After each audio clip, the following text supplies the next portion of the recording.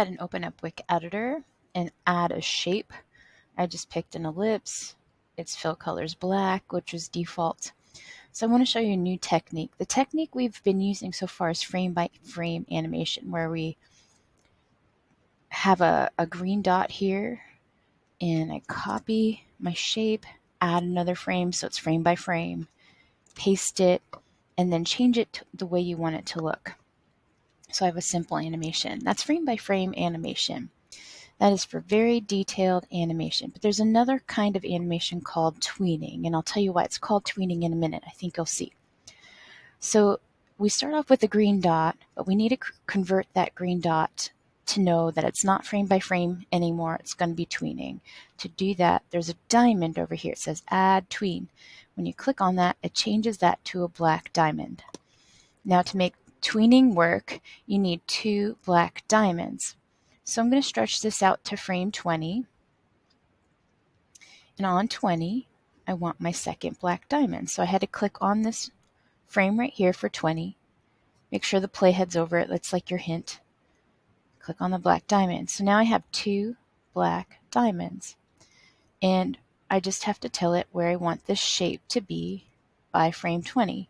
So on frame 1, that's its starting place by frame 20, that's its ending place, and then the tweening fills in everything between. let's try this again. I'm going to go to New, create a brand new file. I'm going to even use the same shape. Practice it again. So we start off with the green dot. We have to tell it that we're tweening.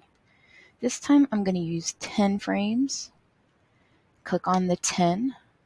My playhead's over top of it, which is my hint that I'm in the right spot. Add your tweening and then tell it where you want the shape to be by the end of the animation. So it starts here and it should end up here. And it works. So it goes so fast this time because it only has 10 frames. Last time we had 20 frames. So the more frames you have, the slower something's going to be. But here's what I can help you with next. If I stretch this out again on frame 20, I'm going to add another diamond and move this again. So I can kind of keep this tween going by adding more diamonds. And I can kind of keep this moving. So once I have these things in place, they don't have to stay here either. So if I click on this diamond, I want it to move up here. So by frame 10, I want it to be here. So in frame 1, I didn't move it. It's still there. Frame 10 and 20, so now it has a little bit of a different shape that it moves. So I don't have to, like, if I don't want it to end in that corner on this diamond, I want it to maybe at, end up over here. So now it's going to end here. So you click on the diamond and you move it where you want it to go. So we're going to practice that tweening with a car chase scene. It's almost like an old-fashioned video game where I draw one card. So I used a brush tool to make some of these cars. And one they they end up on the other side of the scene. But for one car you want to use less frames so it gets there faster.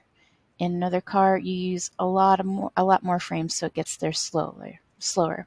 Some people in my class chose to use something other than cars. That's fine. Have them race across the screen. See if you can determine who the winner is i think this is hard to tell who the winner is um, but some of them this is very clear clearly telling you this is my sample of a car chase scene. You can tell very clearly that the blue is winning.